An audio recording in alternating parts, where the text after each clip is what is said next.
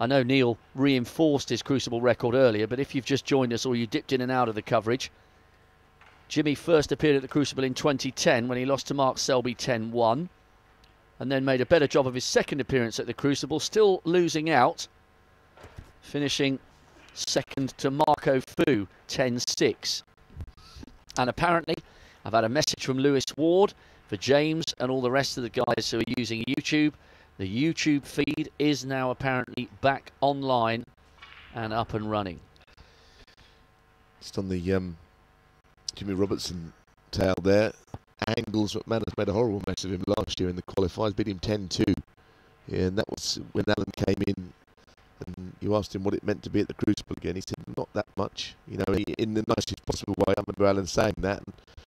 In other words, he'd been there before. But it kind of helps when your attitude is a little bit more phlegmatic about it, doesn't it? For someone like him, it clearly did mean a lot because he got to the semi-finals incredibly last year. But he he was the one that did for Jimmy Robertson. I remember that interview now. That, that, had gone to the darkest recesses of my mind. No, he, he, surprised you, didn't he? He said, "What does it mean?" He said, "If I'm honest, not that much to get there." Obviously, he was delighted, but it, it, it wasn't the be-all and end-all. Yeah, and I guess that's the perspective that you have on the game when, when, when your life experience is so vast. If you're, you know, 45 as opposed to 21, it's you, you are able to put it, you know, yeah, into in a context. Yes, yes, and that helps. That helps you to do it as well. It helps you to achieve your goals. Well, you were mentioning uh, Neil. If people are watching from overseas, uh, a stream of tweets coming in. A lady called Nedalina saying, Hi, I'm watching from Austria. I'm delighted for the Pinner Potter to get through. Tom is watching from Korea. Nice to see the stream on Facebook, he says. Uh, who else have we got here? Turge, I hope I've pronounced your name correctly, matey. He's watching from Norway. He says, I'm going to watch every single match simultaneously. I use two TV screens at once. Uh, and a guy called John Sigler says he's watching from Hilton Head Island in the United States. I wonder where that is in the States. We'll have to look that one up on Google. I might get Lewis Ward to have a little look at that one. Hilton it? Head Island. We'll, we'll, have a little Google eyes of that, as my dad says. We'll Google eyes it. And Steph says, I'm watching from Belfast. Delighted to see so many young players and debutants coming through. So thanks very much for for all your contributions and your comments. Oh, South Carolina, apparently. Wow. We're delighted to have your acquaintance. And um, we had a little bit of news yesterday. I'll, I'll just give this again. I'm going to try and find this email. But the nuts and bolts of the information uh, that I was given yesterday via email was a press release that confirmed if you're living in certain territories and the United States is one of them, you'll be able to watch the World Championship for the first time on Facebook Live. I'm just scrolling back down my list of emails. It was something like, off the top of my head, North America, Afghanistan, Bangladesh, Pakistan, and one or two other territories. India was in there as well. I'll get Lewis to remind me.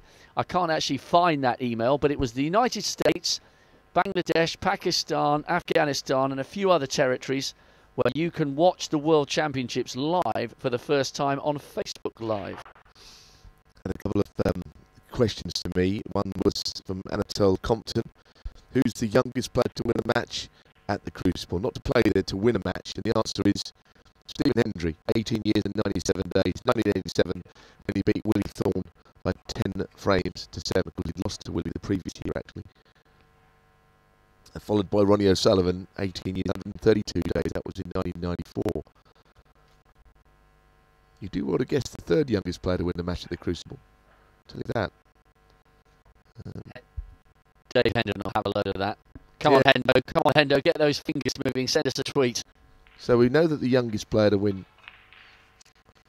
is Stephen Hendry. The second youngest, Ronnie O'Sullivan, in uh, 1994 when he was victor over Dennis Taylor.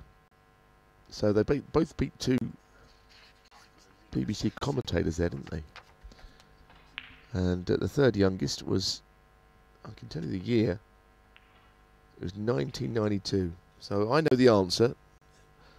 And if you've got the almanac, you might know it as well, because that's the only reason I know the answer. Because I've got this almanac with all this information. The third youngest player to win at the Crucible. I'm waiting for the tweet with the correct answer. Answers on a postcard, please. No prize, just the satisfaction of knowing you're the chief statistician of the hour.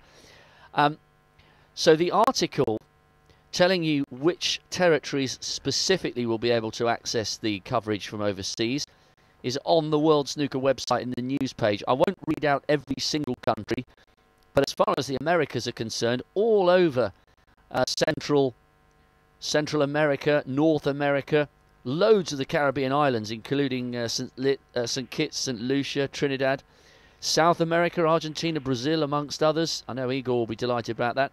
And uh, the Asian countries, there aren't too many of those, so I will list them. It's India, Pakistan, Bangladesh, Afghanistan, and Sri Lanka. So, loads of ways, new ways, for those of you watching from far flung corners of the world to get involved with the coverage live, free of charge, on Facebook Live. Rod Lawler's just rolled a red into the middle pocket. If it hadn't have gone in, he'd have probably lost the match where the balls are, but it's given him a wonderful chance to pinch a frame here. It was a tremendous red. And look at the damage he would have done. Just one thing, um, Andrea Campagna has said to me, in tennis they call the score in English and in the language of where they are playing, in the except, except in France because it's basically French is what they call it in. So uh, kind of sums that one up a bit. And hello to Igor, of course, watching in Brazil, the big snooker enthusiast.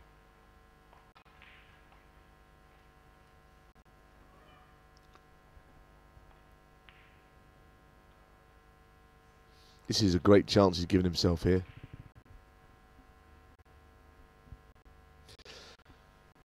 Might nip over to the other table, I think. One or two people have, have asked us to dip into the Ebdon Holty game. Alex O'Boyle being one of those. So maybe we'll nip over and see what's happening there. Good shout, guys.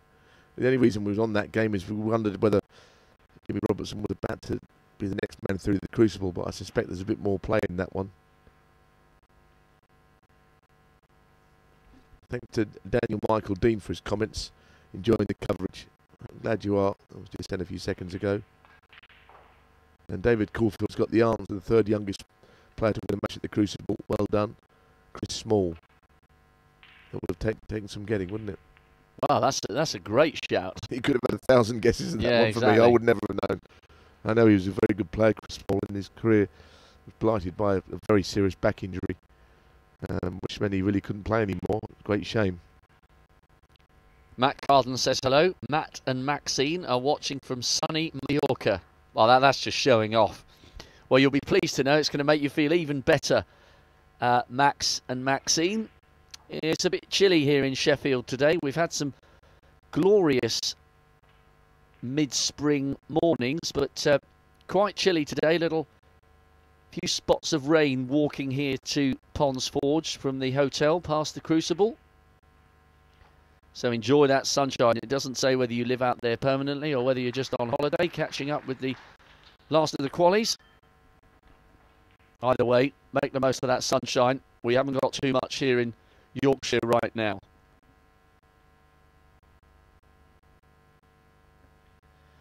Okay, Neil, it, it, it's too tough to call this match at the moment, isn't it? Because Michael Holt's done absolutely superbly. If you'd said to him when he woke up this morning, from 6 3 down, I'll give you 8 all, he would have taken that. But because Peter Ebdon just seems as though he's gaining a little bit of a foothold in the match again, do you think Holty's going to be feeling slightly anxious? Yes, uh, for sure. But as you say, he's got to look back and say 8 all would have been what he'd have wanted. 8 6 up, no, but 6 3 down overnight, he'd have been delighted with 8 all, 9 all, anything like that. So I suppose you have to look at the bigger picture than the last couple of frames. But the trouble is, Ebdon is not one to get involved in a battle like this with because he's one that you have to scrape off the table. I know it's a, a cliche, but it's true. He he will make things very hard. He's managed to claw his way back into things. You you might remember this. He he had a brutal 10-9 in the qualifiers last year, Peter Ebdon.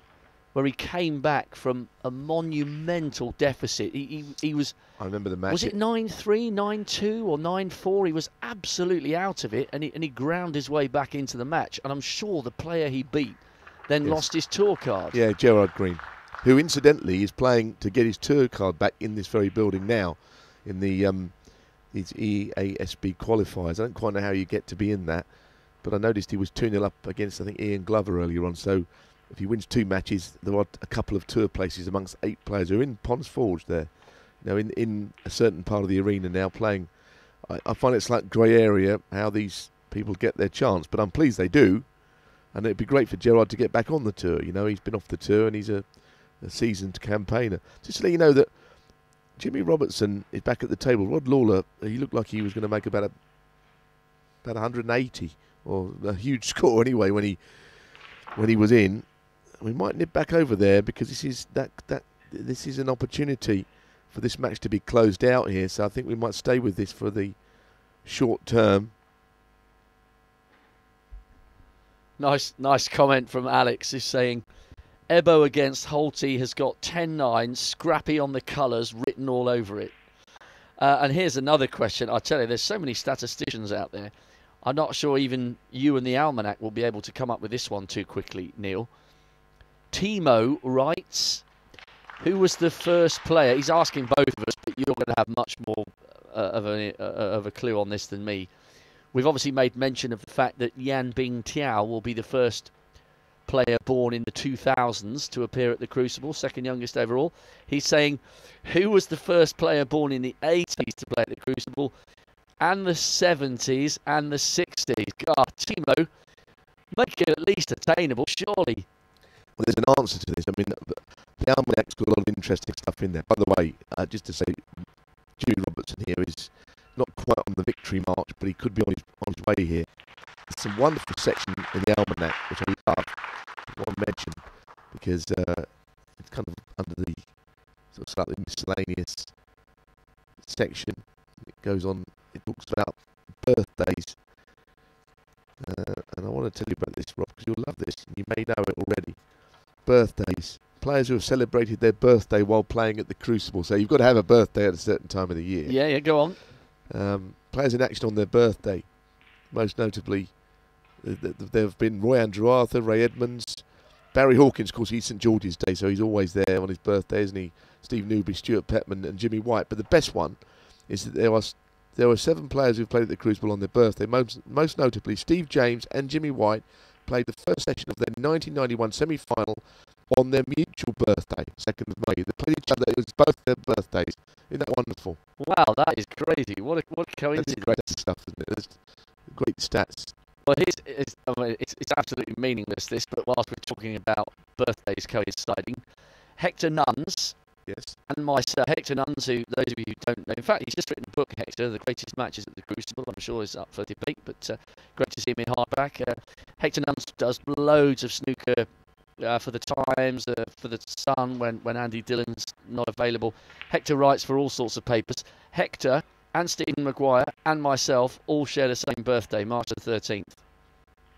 And we only found that out because we happened to say, I think we were at the Welsh Open one year, the three of us, and say, oh, what are you doing next month? And then just check chat, oh, well, so and so is my birthday. And then the other two went, I think Stephen Maguire said, that's my birthday. And uh, Hector Nunn said, that's my birthday as well. So, well, it's, it's a day shared by all three of us. But imagine that two players sharing the same birthday on a semi final. And That playing each other. Yeah. And of course, there is that other thing, and uh, nearly don't want to get off this subject of this match too much, but there is a statistic, isn't it? How many people in the room would it take for a better than even chance of them both sharing the same birthday? And it's not as many as you think, something like about 30 people. Um, the way it works, there's every chance. Anyway, we, we, shouldn't get away from the snooker here because this is Jimmy Robertson, potentially one of his finest moments. Another Crucible appearance might be imminent. He's not there yet, but he's. I mean, Lawler got in first. What I've seen of this match today, Rod Lawler, I think the fact that he's you know incredibly slow player by today's standards, and I think he's run out of petrol today. He's played two matches to get here. Yesterday he played okay, but this is a match too much for him because when you play as slowly as as Rod does, it kind of takes it out of you. And I think I think he just lost his he's just lost his way a little bit today because he's got in and there's no real sharpness to his game. And Jimmy Robertson, who is you know little more more able to play and quickly and fluently, has has got the most left. 41 the difference. Don't know if that red by the pink actually went. Interesting shot to play the pink. He's got the other red, of course. He can see the crucible now in his sights. He's just got to finish off the job. I think Jimmy's from the south coast, isn't he? Yes. Yes, he is. Something like Bexhill on Sea or something like that, I think. Yeah, some of the lads I've got friendly uh, with a cracking group of guys who play in Hailsham. Uh, they come up to the Crucible every year. Their their leading man, as it were, is uh, a guy called Robin Thomas. He's nailed a few centuries in his time. Plays at the Workmen's Club in in Hailsham, and I think they sort of nominally adopt uh, Jimmy. So I, I don't think he's far from their base. In fact, you may have seen, if you are a regular at the Crucible, this guy called Robin is uh, a real character. He's larger than life, literally and metaphorically, and always travels with a guitar. There was a famous night in the main bar at the Mercure where Ken Doherty started singing and Robin was playing the guitar. And a good old knees up was had by all. And I think even Cliff Thorburn wandered back from a late night drink somewhere and started joining in. So it's a it's a real festival atmosphere here at the Crucible. And for guys who play for clubs up and down the country week in and week out. It's a, it's a very special couple of days when they come up to the Crucible to, to be part of the snooker fraternity. It's a, it's a great group of people to be involved with. Well, as you saw there, Jimmy Robertson didn't pot match ball. It, it missed it by a long way, actually. So mathematically, Lawler can still win. He's 47 behind on three reds. It'll take a, a clearance and a half. The colours are all on. More where the reds are placed. So Robertson's just got to be a bit careful here. Doesn't want to throw it away. He doesn't really want to move those two reds that are down the table. I think it's a good idea to push everything as, as much as he can up the other end. So that's a good shot. He's on the brink. He knows it as well.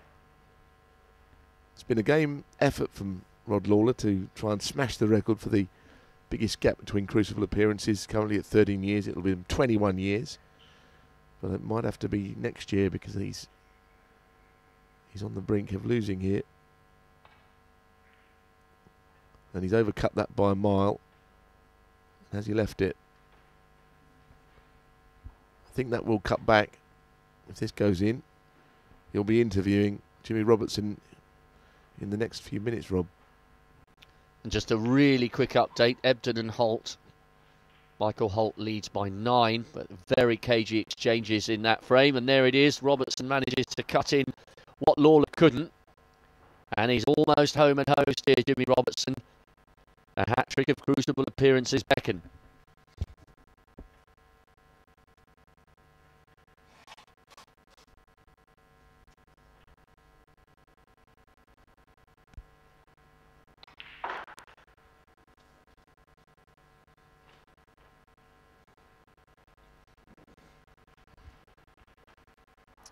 Difference is 48. Now, really, if this red goes in, it is all over. Congratulations to Jimmy Robertson. He's through. And I'm sure he'd be pleased to be there. It's been a very tough match from this. It always is against players like this. Players that just make the game difficult. You have to sit in your chair for long periods while your opponent is at the table. It's always tough. And he's weathered the storm well. I expect the handshake to happen now. And that is that. So Jimmy Robertson is the next man to make it through to the Crucible. Warm congratulations to him. Bad luck to Rod Lawler. Great guy. Unfortunately, no Crucible fairy tale for him. Back on this match, this eternal struggle. I managed to miss the red altogether there.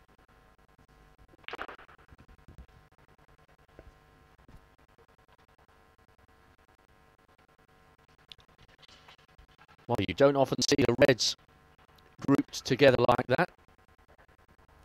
This is the last match in progress then. We've got the remaining eight matches to come at five o'clock. Michael Holt and Peter Ebdon at eight frames each. Is the only match still going. Luca Brecel, Xiao Guodong, Gary Wilson, Yan Bingtao, Martin Gould, David Grace and Jimmy Robertson are all in tomorrow's draw with the world's top 16. Or will it be Michael Holt who did magnificently to mount a comeback from 6-3 down? He was 8-6 up and then Peter Ebdon managed to get two crucial frames on the board. And this has gone ever so cagey here. And uh, the tweet we had from Alex LeBoyle. Ebdon and Holt will go 10-9 in the final colours. Scrappy. Well, there's so much at stake for these two guys. Ebdon's chasing a 24th Crucible appearance in what would be 25 years since his debut made his first appearance in, in 92. Holty's been there eight times before, twice in the second round, or sorry, in the last 16 as it were. So, we will keep you posted on this one, but we will I'll hand you back to Neil whilst I reposition to do a quick interview with Jimmy Robertson, who's booked a hat trick of Crucible appearances after that great finish against Rod Lawler. Yes, well done to Jimmy. That was a, a really good win it takes some doing beating someone like Rod over such a long session. Um, in the meantime, pictures on screen. Holt 21 in front, 8 all the score.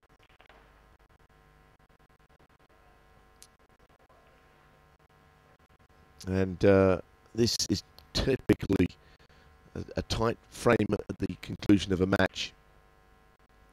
So there seems to be a lot of snooker left in this essentially a best of three for place in the next round.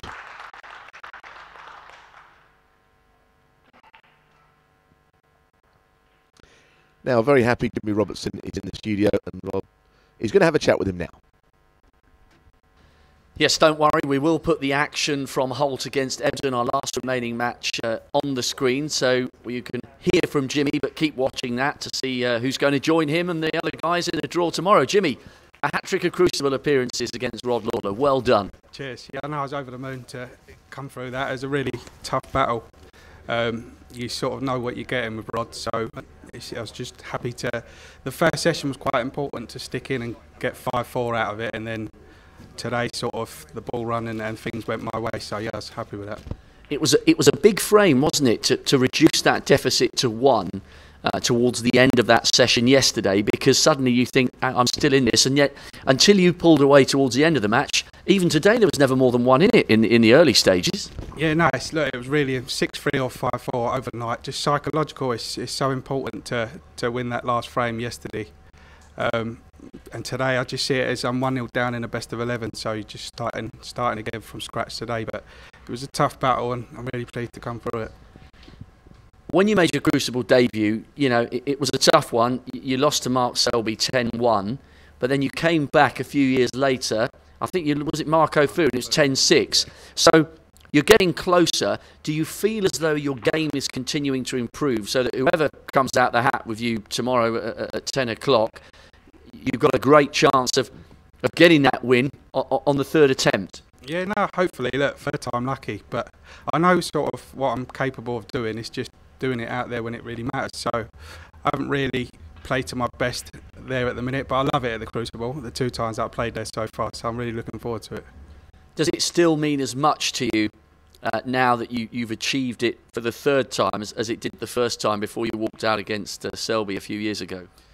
Look, the first, the first time probably the most special, but getting there for the first time. But obviously, once you're there and you, you've, you've played there before, you want to keep getting back there. So I'm still really looking forward to playing there, like the first time. But obviously, the first time meant that little bit more to, to get there. But yeah, I can't wait.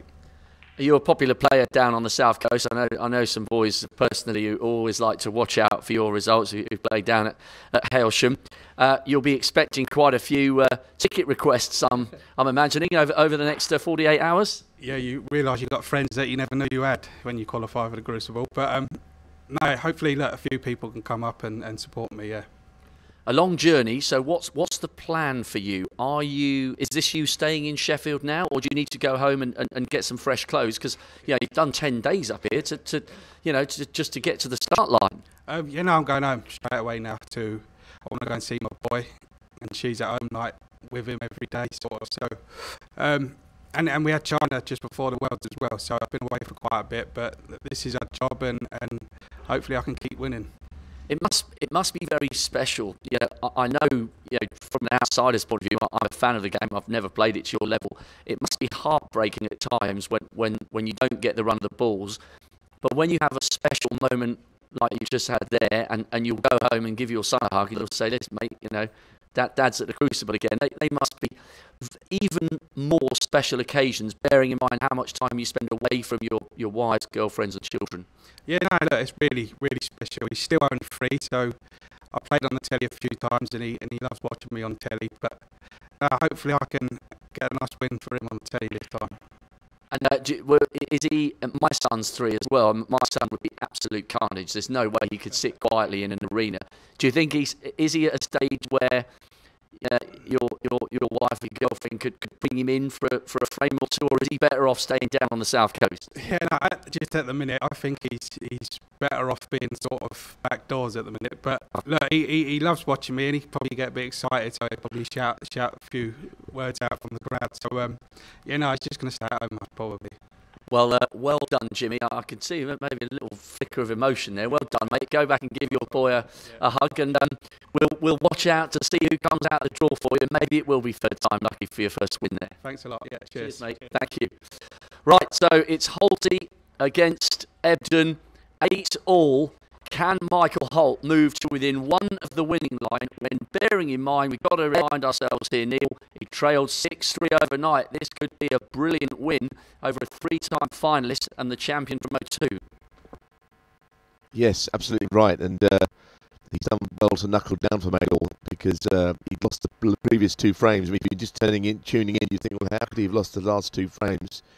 Because he was 6 3 down, but he won all those frames in a row, five in a row and now it's 8 all, and it could go 9 8 Holt here.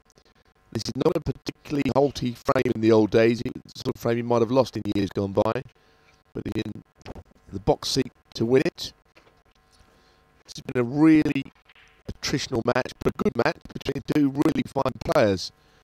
It's another behind match which would grace the first round of the Crucible, because many times Ebdon has been in the 16 in his career.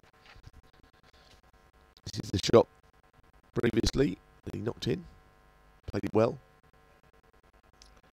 So on the brink.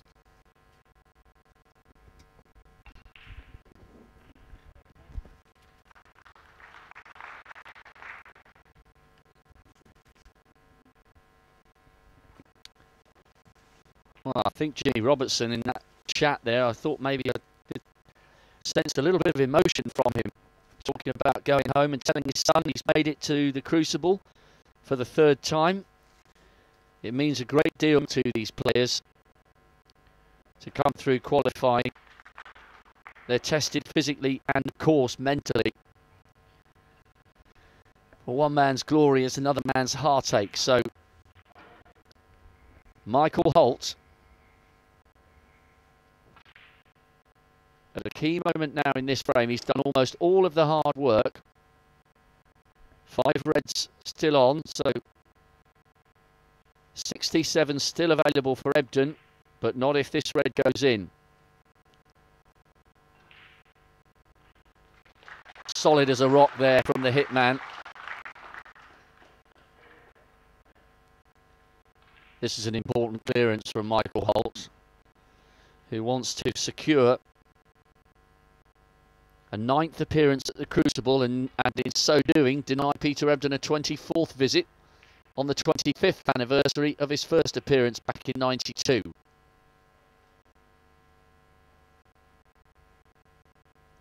This has been a brilliant second day from Michael Holt from 6-3 down. I'm sure Terry Griffiths uh, is watching this. Michael's been working with Terry on his mental strengths and he's a very honest guy, Michael Holt. If you had a chat with him, he would tell you himself that uh, he's had a few issues with his mental strength getting over the line in matches. And I remember a few times watching him at the Crucible where he's made the motion when he's sitting in the chair as if to say, I've gone. But Terry has helped him iron out some of those weaknesses. So Michael Holt 74 in front, only 59 on, and Peter Ebdon isn't giving up in this frame yet. And this is what he does better than almost anyone, which is why he is a world champion and 10 times has made the quarters all better. He never quite knows when he's beaten. So he's almost there in this frame, Michael Holt. He's almost within one of his ninth Crucible appearance. Peter Ebdon has a huge task on his hands here with only 59 available, but he's not giving up just yet.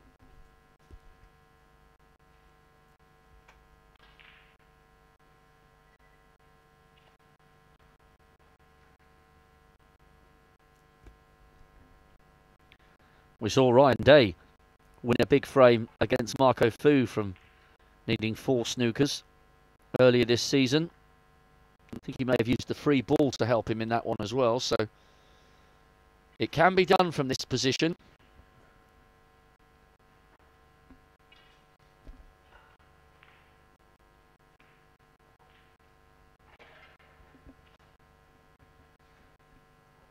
This red, though, surely would lead Peter Ebdon to say, okay, that's fine, you've got the frame, and it wobbled, but it went in. Good pot there and good composure from Michael Holt against the former champion.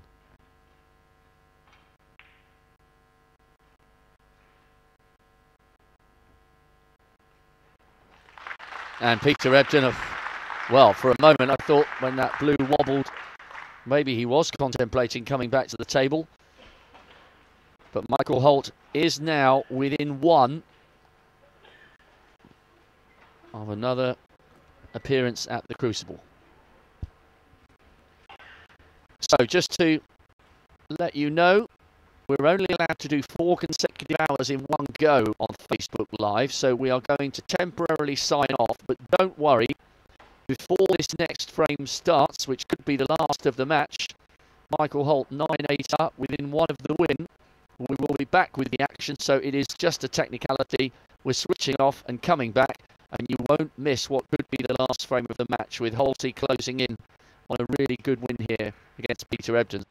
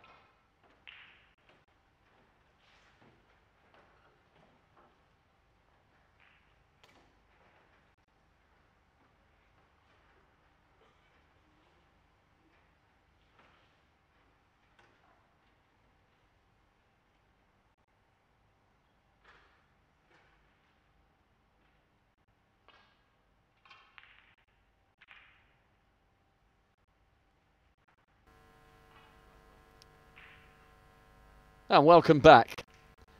Well, I promised you we'd be up and running before the break was made in what could be the last frame of the match. We might have missed it by 10 or 15 seconds. We just had a couple of gremlins waiting for the system to allow us back on. So here we are. Peter Ebdon facing a difficult task here from an overnight lead of 6-3 he eventually won two frames, trailing 8 6. Five unanswered frames from Michael Holt. So Ebdon is still in this match, and these are the kind of positions he absolutely loves.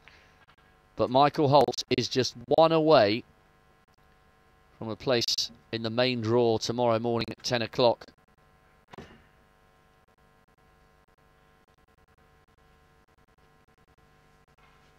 He's come through one best of 19 already. Jack Lisowski 10-9. It was a bit smoother against Michael Wild 10-3, but if there's anybody who has the mental strength to grind out a 10-9 win, it is Peter Ebdon. But uh, first of all, He's got to win this one, and Holty will be desperate to avoid a decider. Thanks to Rob. And, uh, he's absolutely right. You feel there could be a bit of mileage in this match yet. What I, I was going to say, what I like about Holty is the way that he seems to knuckle down more these days. He won't be all that pleased with that shot. He, I think he can get over the line. Uh, at one point in his career, I didn't, I didn't think he could, and he's proved a lot of people wrong in the last season or two. He's a, a seasoned campaigner, playing one of the hardest men in the game to beat, and he's on the brink of doing that. And it was from six-three down. Don't forget, we're back at five, as Rob no doubt has been saying, for the next episode.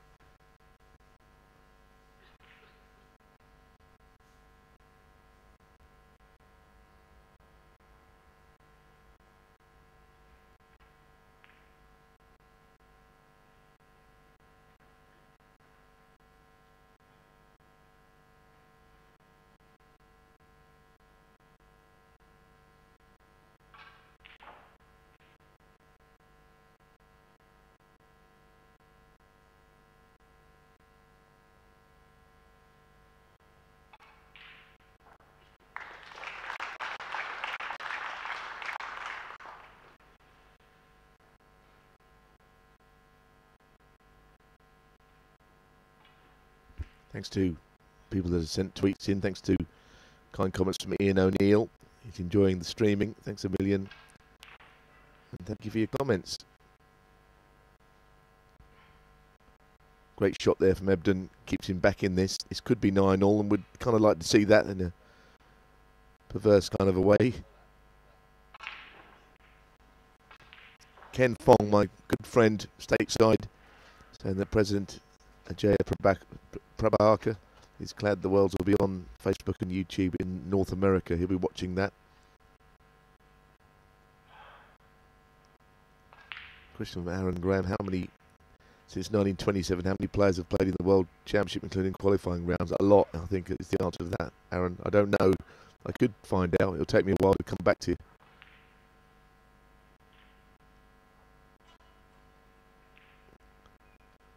Uh, that was um, some relief there that Ebdon didn't make anything from that chance, missing in the end quite prematurely.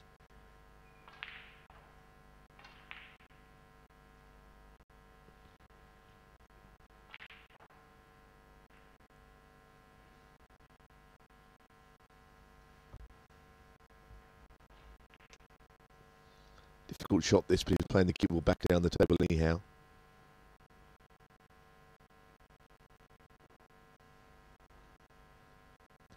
Thin safety shot off the red above the pink if he wants it. He's just not getting anywhere at the moment, Ebdon. He needs to sort of turn this into an even bigger scrap than it already is because, like I say, hold this up for the challenge. Nice safety shot, a little pacey, but only a little.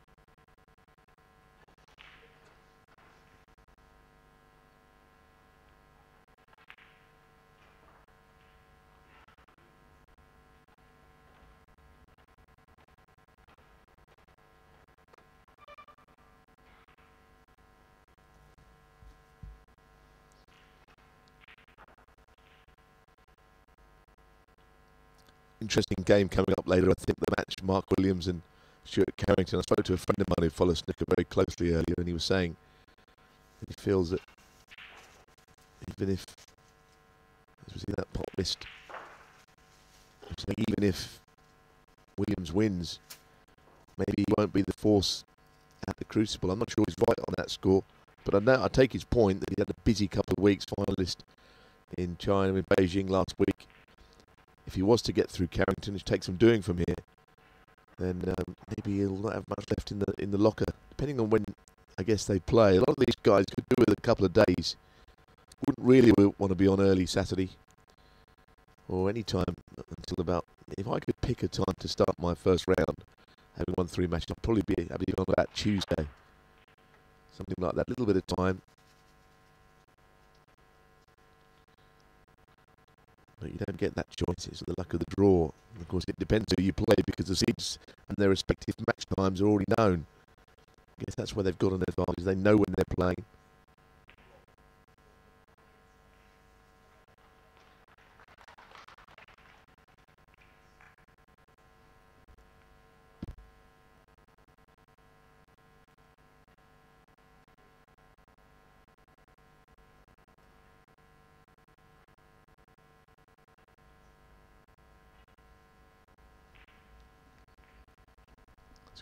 From Brendan Boyle, who um, is a snooker follower, saying that uh, something about the mentioning on the YouTube live stream. Someone has mentioned that Ronnie's got no safety game. It clearly wasn't Rob or myself.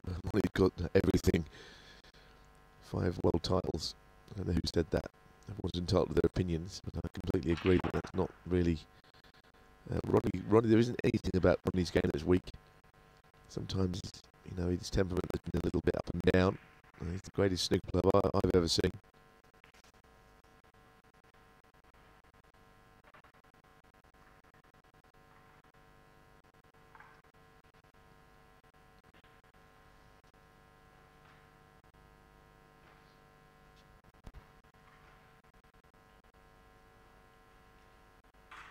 Uh, the tension is quite great now, but what would it be like at nine all in this match? Uh, considerable, I guess is the answer.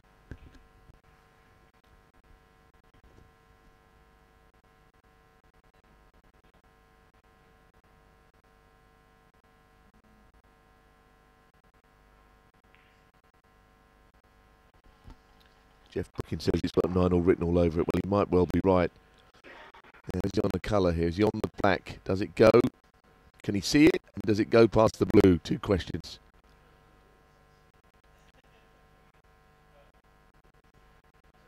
Well, if you're looking down towards the yellow, then uh, the answer to that question will be a no.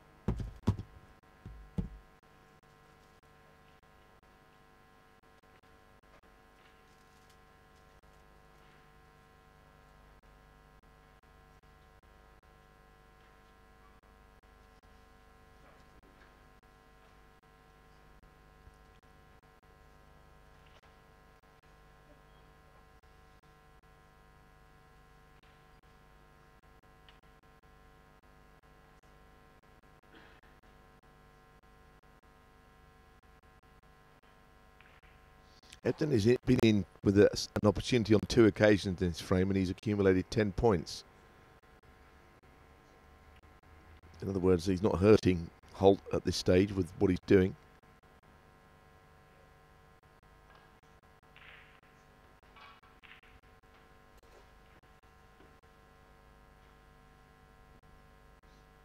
Difficult table to play safe from shots in that run. He may have a two-ball plant there. Those two reds are certainly set towards the pocket. I'm not sure if they're actually bang on line.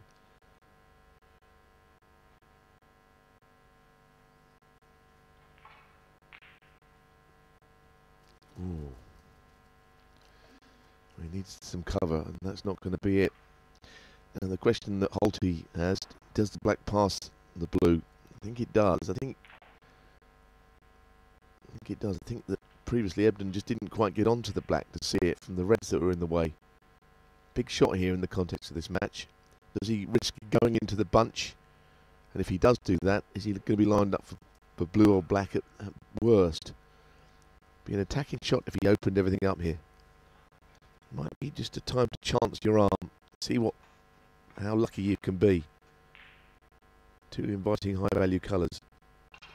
He's gone into the bunch. He's taken a risk. And that is a good shot.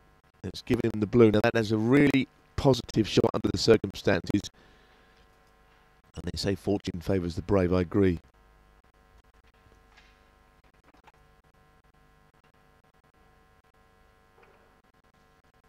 Still going to do it, but it's giving him a real in in this frame.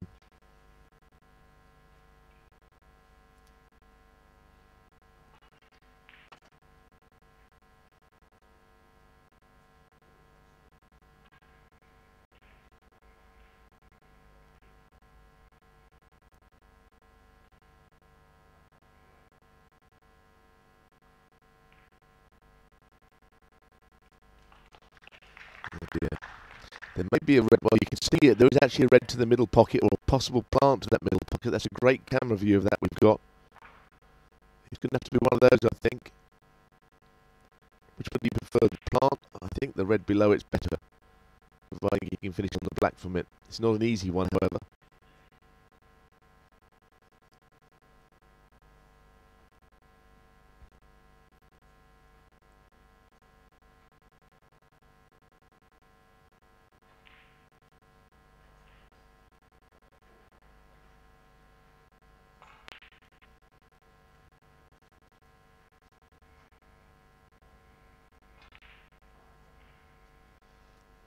Something to the left middle.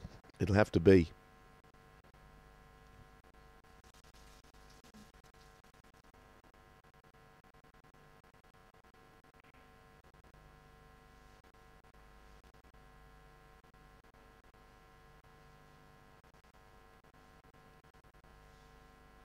Taking a long look at this.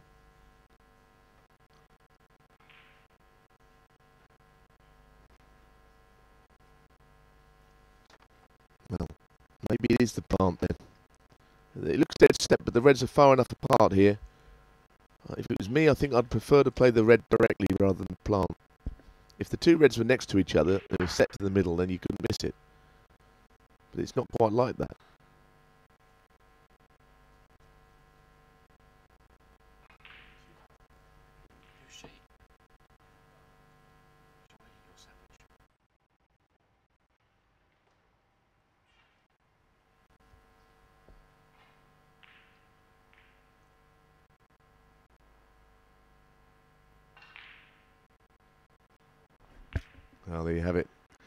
Took on the, the plant. I'm surprised, a little surprised he went that way. I think the other red was nicer. I know that the, the red that was direct, he may not have had a direct route onto the black, but I'd rather take a red on than a plant that's not certain. But I can understand why he did. Look at that opportunity that it would have given him. There's a glimmer of hope here for Peter Ebdon. The man who thrives in these attritional matches. He will absolutely believe that he can still win this match. He won't be overawed by the context or the deficit.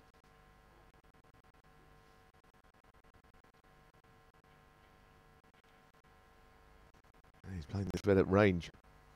This is a surprise. I don't know. Maybe nothing goes. It looks to me like there's a red that would go to the left corner. Surely that one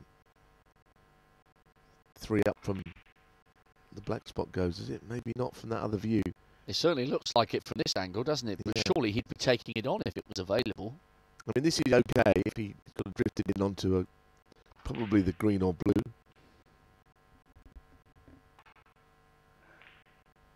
Well, he's really struggling here. Holty must read the signs.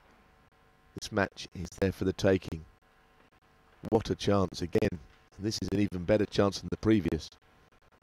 And also, you, you get something out of your opponent missing a ball like that. You say, well, look, he's not really feeling all that confident. Now Holty. What a chance again. It's in his own hands. That's what you like at this game. Your opponent is sitting in the chair, there is absolutely nothing he or she can do.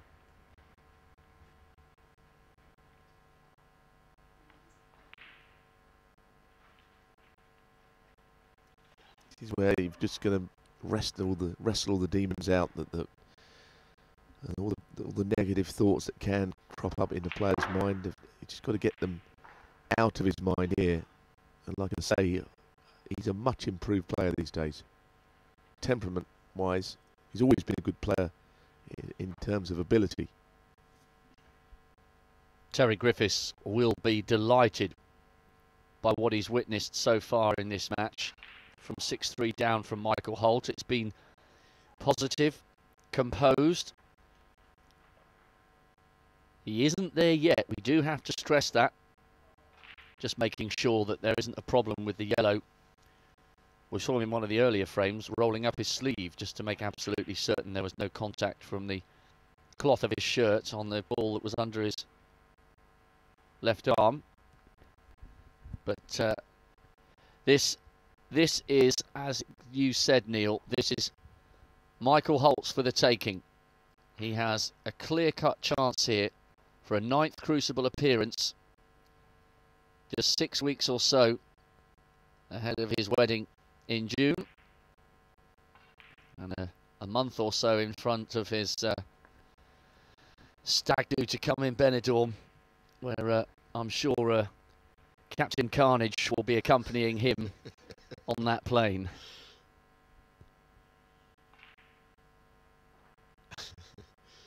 Captain Carnage like it.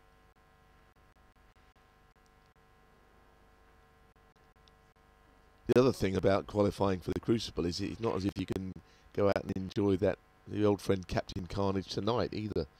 When there was a gap between it and you knew you were playing in a few weeks' time, you might say, right, I'm going to have a celebrate and enjoy this moment. But what are we Wednesday and it's Saturday? You wouldn't want to be going too mad tonight, would you? pre-draw, not knowing you could be staying down here and playing first thing Saturday morning against uh, either Anthony McGill or the defending champion Mark Selby. So you can't really celebrate it. No, he can put those celebrations on hold until until he's uh, able to enjoy the build up to the wedding. But um, he's closing in here. This is uh, this will be a, a really good win for Michael Holt from from six three down overnight. Yes, he's got work to do still here. He looks very solid, I have to say that, and uh, I don't want to put the, the hoodoo on him by any means. He's got the reserve red up the table if anything was to go wrong in position. It's always nice to have something there to, to fall back on. But it would be nice if he could keep it there for as long as possible.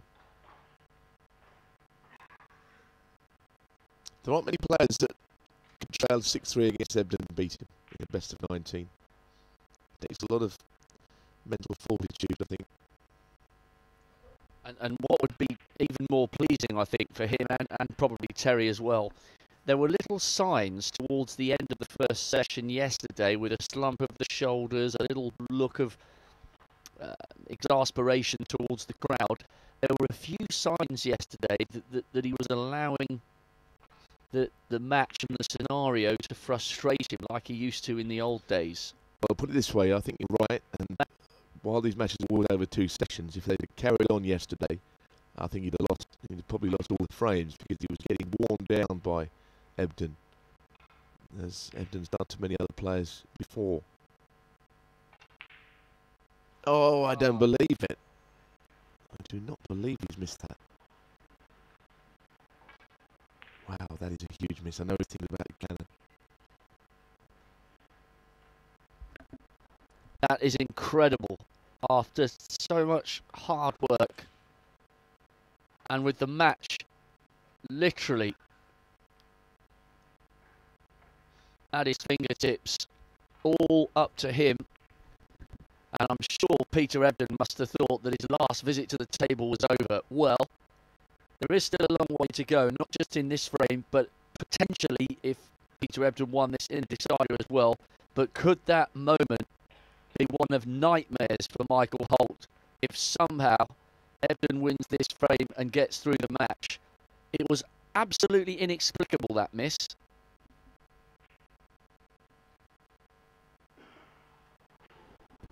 Well, what happened there? I mean, that was a horrible shot. At the moment, he looks halfway gone, Ebdon, to use a snookering term. I'm not saying it's going to stay like that. Is that the kind of miss, if and only if, of course, it ends up costing Michael Holt, is that the kind of miss that stays with you for a while? Yes. Only about 10 years. He's going to play the cannon. He's got to move her red. Well, well, well. Extraordinary this. I guess it's like anything else. It was all too easy to go and close out the match there. Really, that cannon and getting onto the black was probably the last difficulty in, in it all.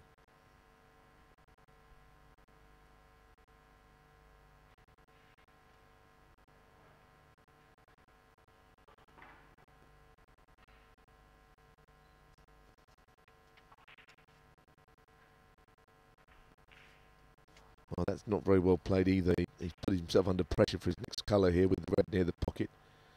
Probably the black. He's horribly short of pace. I wouldn't bet against Ebdon knocking this in though. But he looks like he's really struggling again.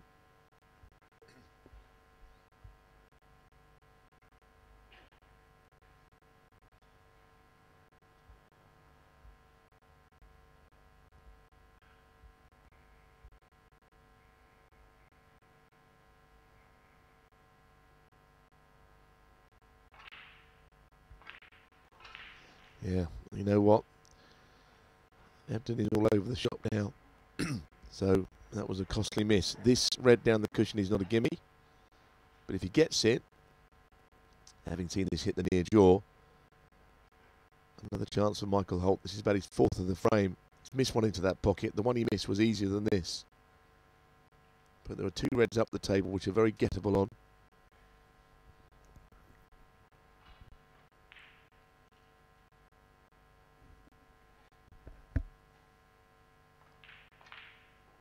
Very well done. Now, does he have to do anything flash here? He doesn't need to move the red off the cushion, that is for sure. Not unless he absolutely can't avoid it. He's screwing towards that red, he wants to leave it there.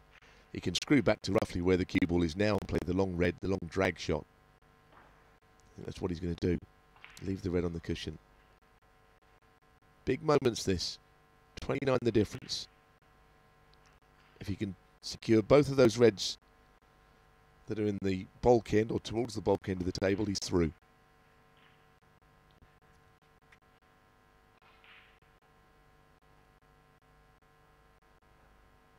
We saw him to miss one of these, uh, sort of overcut this drag shot.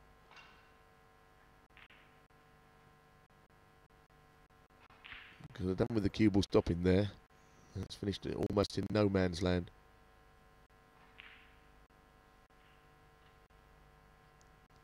I honestly think the shot here is to, to play the pink and play the big shot, not the pink in and the red. The blue is a little bit of a fiddly shot to the middle bag, and you're not even coming towards the red that you want. So he's got to play the big shot, punch the pink in, stay up the table for the red to the right middle, and then you're in the draw for the next round at the Crucible. But this has got a degree of difficulty about it.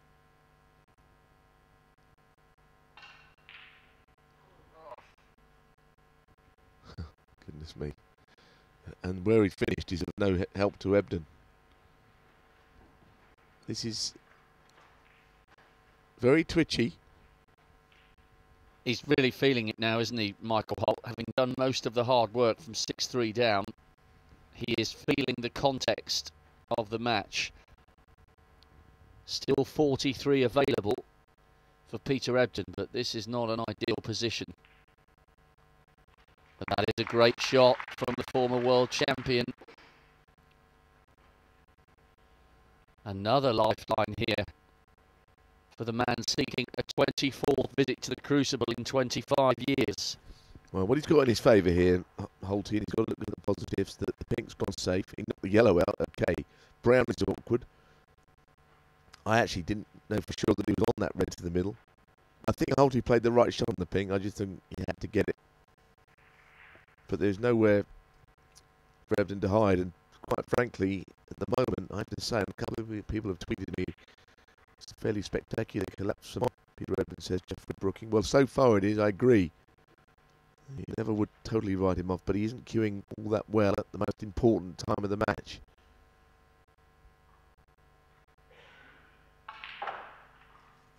Well, he played, I think he played the cannon there, he got nowhere near it. Well, the equation is, is simple now. Holt wants one more pot from here because there's 27 in it. One more pot as it stands, and the frame will be his.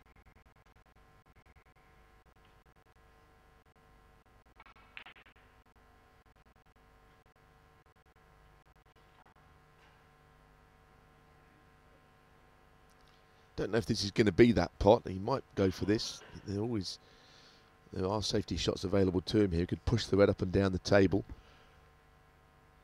Maybe leave the cue ball in behind the green, or he could go for this. Depends how he's feeling. He must be so tempted to want this match over because he will be desperate to avoid this going to a decider. He's so close, but you just can't rule anything out with Ebdon whilst it's still mathematically possible. Oh, and it was so close to going in.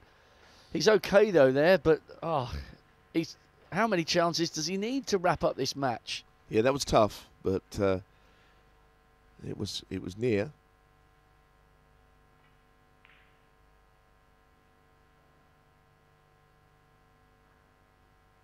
Actually, the green being pushed a little closer to the brown is in Ebdon's favour. Because green to brown is now not quite such a difficult option. He's moved the brown out as well. That's a that's a very clever shot from Peter Ebdon. Good shot. What he needs is to get all those balls into open play so the clearance becomes on. Because Holt has got less of an insurance policy now with the brown open.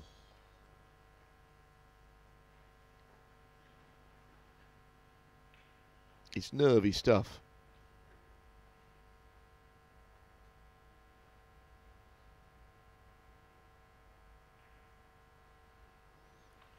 That's a, quite a good idea. I don't know if he's got the snooker.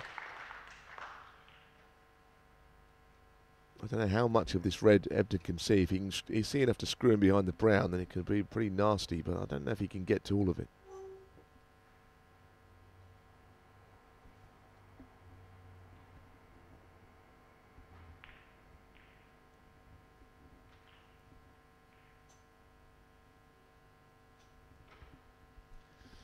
Well, that's a snooker that's not really going to cause too many problems with regards to hitting it. Table's a little bit better for Ebdon, though. Hope Springs Eternal. By the way, if you're planning your evening, if you're watching somewhere where you're ahead or maybe behind us, maybe you're waking up for breakfast, we've got people watching literally all over the world. We're about an hour and three quarters away from the start of the concluding part of uh, Judgment Day here. Eight matches still to come. This, by some margin, the longest, almost inevitably, I suppose, the longest of the eight morning matches. One more spot available, and um, well, this is uh, a good position for Peter Ebdon here. Didn't like the pace that Holt played that shot at. He's asking for trouble. He's either got the red to the middle or he's got a iron snooker behind the yellow.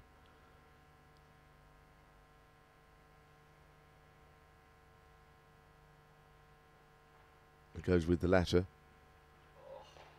Never going to miss that. This is where this is where you want to get out of the snooker and pop the red. This is where you just want the gods to look down on you and give you that. Or failing that, get a snooker behind the blue, perhaps, which he might have. You need a bit of luck at this game sometimes. It's a game of great skill, but luck plays a part. And he has got a bit lucky there. Referee Maike Kesseler in behind just watching where the balls have come to rest because if she has to make any kind of a replacement, I think you'll hit the snooker all right. It's just keeping the red safe.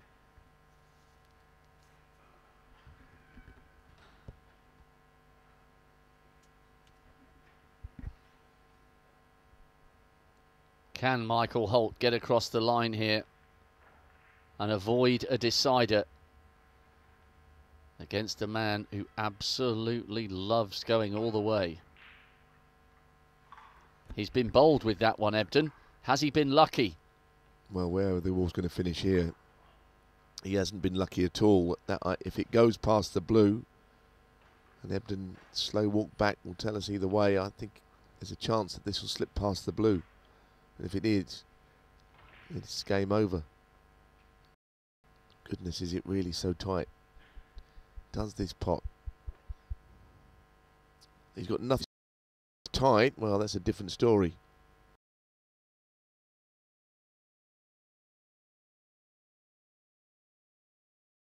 Point. Yeah, that would have been match over.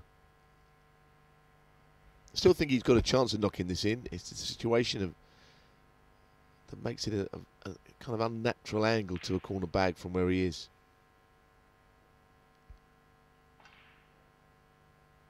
It's not there, it's not close.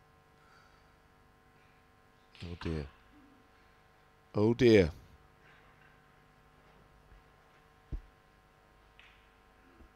If it goes nine all, I mean, I don't know how Holty will get over the line. He's had so many chances in this frame, hasn't he? Big ones as well. Well, it's so easy to be smart after the event, but as you said, that, that was a tough pot. And to leave it on, there's still 35 on the table. Having said which, we have seen Peter Ebdon with some uncharacteristic. On the brown.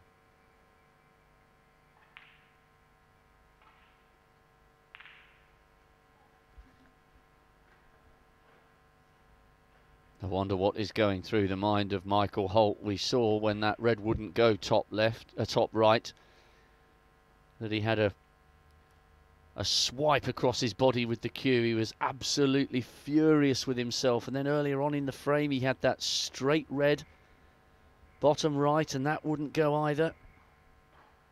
Both men have twitched and wobbled in this frame. Now, has he managed to get that pink out? Yes, he has. Beautiful shot. Beautiful shot. This is now looking like nine all to me.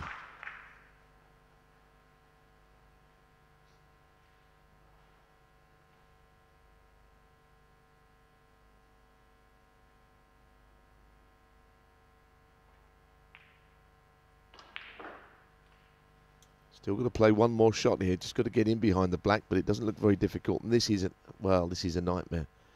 A nightmare scenario for Holty. It really is. You would have to say, surely, that psychologically, the advantage, even though from 6 3 down, if someone had said to him, You'll take it to a decider, at the start of today, he would have taken that. But the manner in which he raced to an 8 6 advantage you would say the advantage here, if Ebdon sinks this, is with him in the decider, not Holt.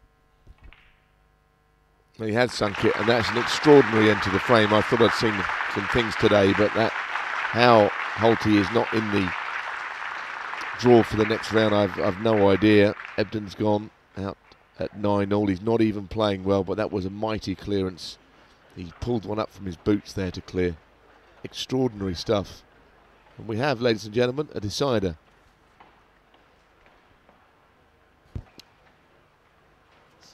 So we will bring you that one. We can't believe it. When Michael Holt was in the balls there, it looked as though the frame was over and a, a fabulous 10-8 win from 6-3 down was going to be his. But it's Ebdon. It's going all the way. And he's already won one best of 19 that's gone the distance. Jack Lisowski 10 9. Peter Ebdon. Can he do it again? Just to confirm, Luca Brecel is in tomorrow's draw, so too Xiao Guodong, Gary Wilson, Yan Bingtao, Martin Gould, David Grace, and an emotional Jimmy Robertson booking a third appearance here at the Crucible. So Holty against Ebdon is going all the way. We will bring you that one. In the meantime, a few thoughts and reflections from the man they call the